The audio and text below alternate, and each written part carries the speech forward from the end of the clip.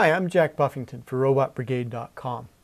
This is another video in my series of videos about digital logic, and in this one I'm going to talk about decoders. Now what is a decoder? A decoder is something that takes n inputs and selects one of, one of 2 to the n outputs. So you could have a uh, two input decoder and it would select one of four outputs. Or you could have a three input decoder and it would select one of eight, eight outputs. All right. Let's take a look at how these work internally.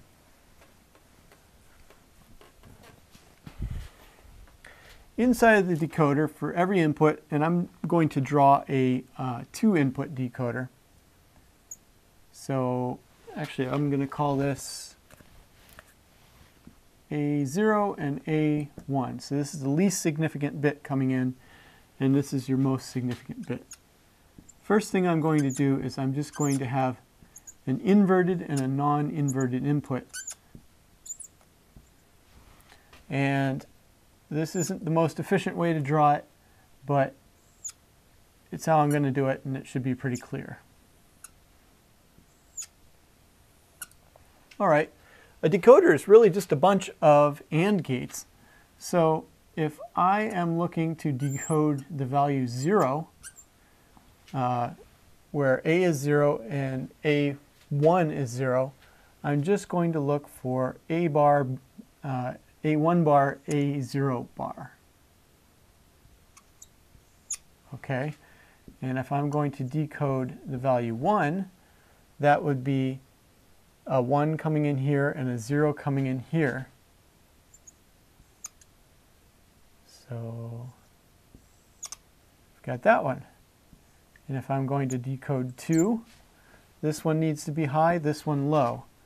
So I'm taking this one and this one.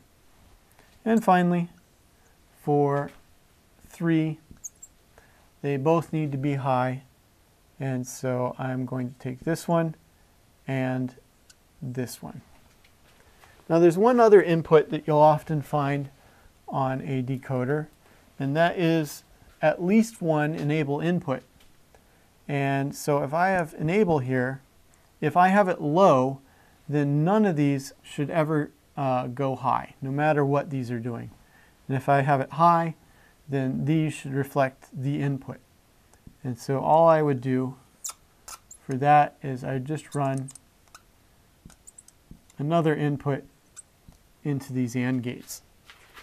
And so that is a two input decoder. A three input decoder just has more AND gates and a little bit more wiring. Okay, now you might ask, why the heck would this be useful? All right, well, let's say that you are uh, controlling, well, actually from a project that I did. Let's say you have a array of LEDs and you want to select only one of the rows of LEDs.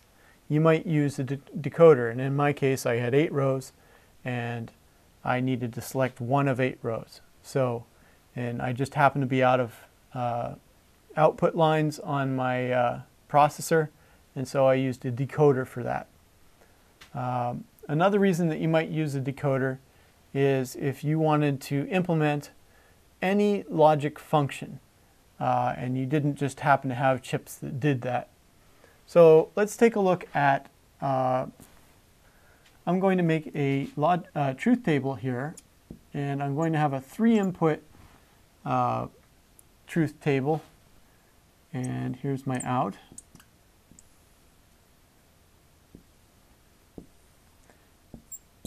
Zero, zero, zero.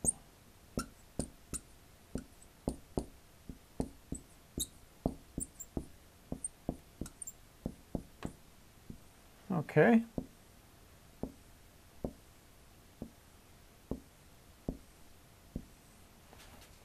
Now let's say I had a function that was like like that. Now I could do my whole Karnaugh map and, and figure out uh, a very simple logic function, or, um, well, Boolean logic expression that I could then turn into gates. But maybe I'm feeling lazy. Maybe I don't uh, have the right gates for that. For whatever reason, this isn't the most efficient way to do it, but it will work. Um, I could have my three input uh, decoder, and here are my eight outputs. Uh, four, seven, eight. Yep. Okay. And so for zero, pretty much I'm going to have a, a major OR gate here. And one, and that one, and this one.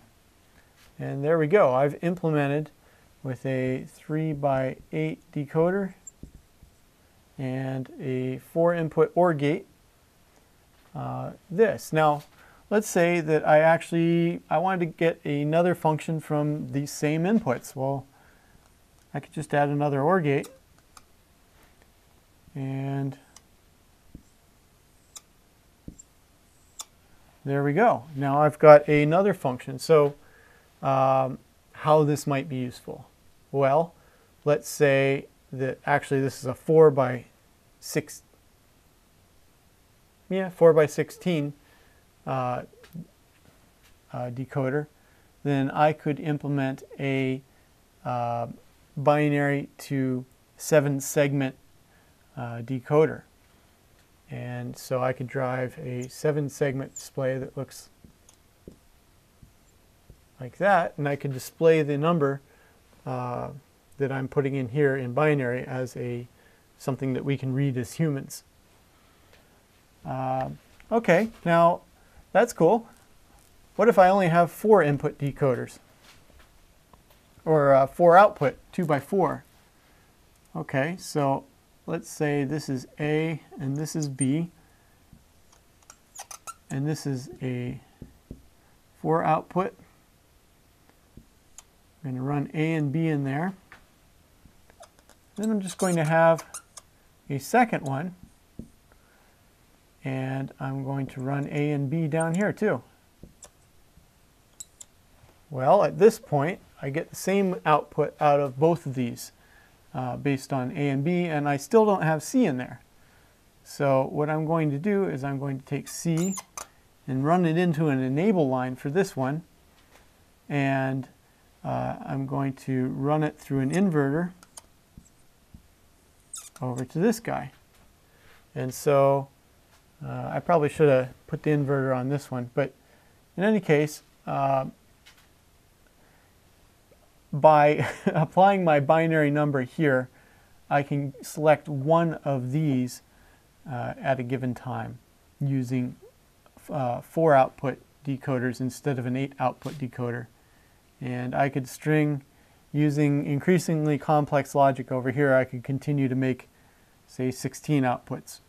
But uh, then you're starting to become really inefficient. So anyway, that was decoders. And uh, hopefully you learned something from this. And if you found this useful, check out my YouTube channel. I'm Jack Buffington for RobotBrigade.com.